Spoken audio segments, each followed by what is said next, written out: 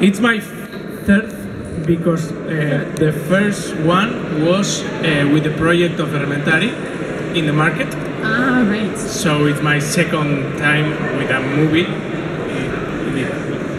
Welcome back. Thank you. Uh, okay, so we're going to do the questions in English and you can answer in Spanish if you're more comfortable. You're, Okay, okay, and Anastasia will. Uh, You pick any language you want. I'll help any, you. any language. So Irati was um, a graphic novel uh, considered uh, to be the best version of uh, Lord of the Rings. Do you think it's accurate? And also, when was the first time uh, you, you read that novel and decided uh, to move forward with that project? Eh, bueno, lo hago entonces en, en español.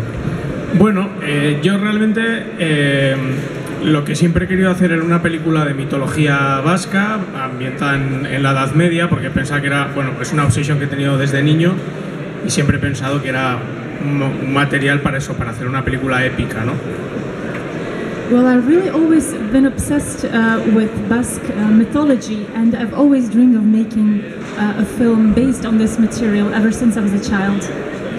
Y, y bueno, eh, en el cómic del, ciclo de Irati, que es un cómic juvenil que, que hicieron Juan Luis Landa y, José Muñoz, eh, contaban la historia de estos dos personajes de Neko Irati, pero re- realmente eh, la historia era muy diferente, solo que eran esos dos personajes en ese contexto con trasfondo de mitología vasca.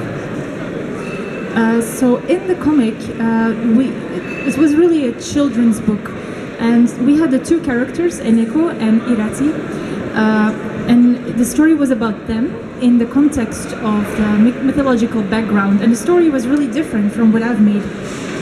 Yo lo establecí en una época histórica real, como por ejemplo la batalla de Roncesvalles, la- o, o ese mundo del reino de Navarra donde eh, convivían los, los Banu Qasi, que son los- la, la familia, las familias musulmanas de esa zona, y los primeros cristianos.